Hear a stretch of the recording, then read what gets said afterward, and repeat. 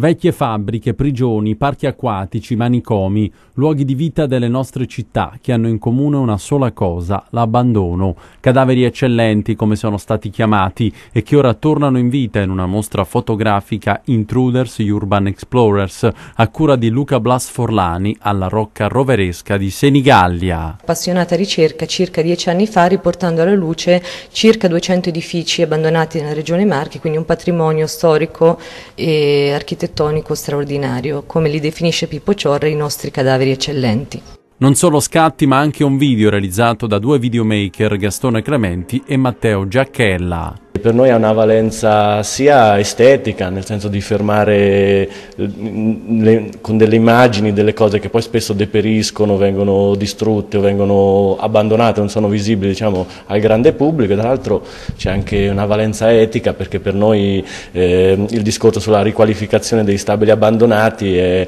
è molto forte. La mostra, curata dalla MAC Manifestazioni Artistiche Contemporanee, si inserisce nel filone del recupero degli spazi delle nostre città, Prosegue il nostro interesse verso un, delle esperienze a livello urbano che siano più cittadine, quindi il progetto pop-up che abbiamo fatto negli ultimi tre anni eh, nella città di Ancona con artisti, artist, street artist, urban artist, eh, coinvolgendo eh, la decorazione di muri, piloni, eccetera, barche, pescherecci, eccetera. L'esposizione inaugurata lo scorso 17 giugno andrà avanti fino al 4 settembre.